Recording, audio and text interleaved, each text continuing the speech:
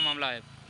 हाँ मैं अकेली घर में खाना बना रही थी फिर राकेश आए, हमारे साथ बदतमीजी करने लगे। तो हमने गुहार लगाई। तो हमारे मुँह पर कपड़ा डाल डाल करके बदतमीजी फिर करने लगे। फिर हमारी गुहार सुनी, हमारी लड़की है वो आई। तो उसको मैं बताने लगी, तब तक मेरे घर वाले आ गए। तो राकेश और राम भजन सूर्यनाथ, अनुज, उनको भी पीटने लगी। उनको पीटने लगे, हमारे घर वाले ने बचारों के लिए घर में चले गए। उसके बाद में ये लोग बोले कि अगर कोई कार्रवाई करोगी तो तुमको यहाँ घर में ज़िंदा सारे लोगों को जला दूँगी। उसके बाद में थाने में हम गए, वहाँ कोई कार्रवाई नहीं हुई। उसके बाद में गाड़ी दे के भगा दिया।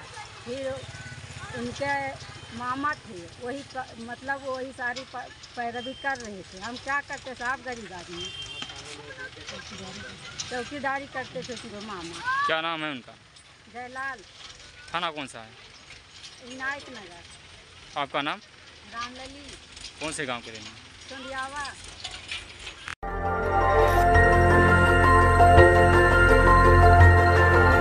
देखते रहिए डीबी भारती समाचार। नज़र हर खबर पर।